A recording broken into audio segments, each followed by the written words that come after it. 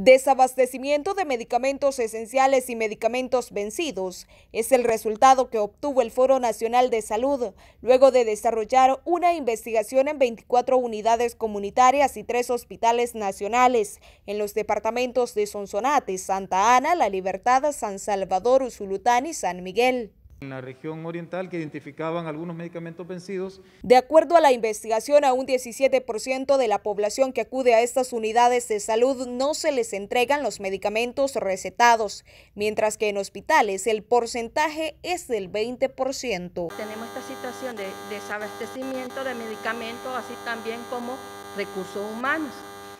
Cuando hablamos de recursos humanos, este, nos encontramos, ¿verdad?, que que hay solo un médico o dos, lo máximo para la cantidad de población que va a visitar las unidades de salud.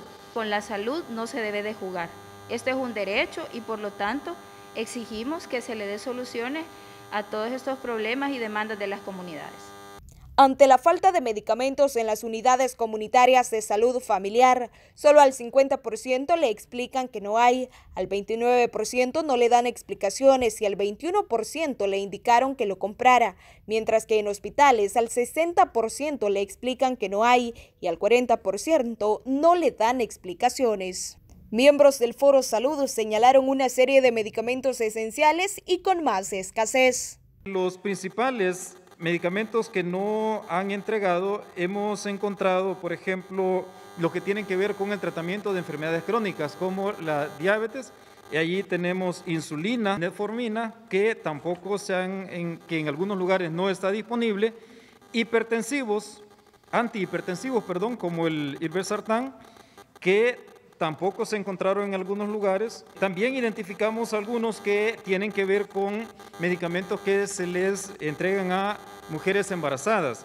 Asimismo, explicaron que el presupuesto para salud para el año 2021 y 2022 ha presentado un aumento significativo en comparación al 2019 y que con ello se ha financiado la compra de hidroxicloroquina e ivermectina, que son medicamentos para el tratamiento del COVID-19, los cuales aseguran no ha sido comprobada su eficacia.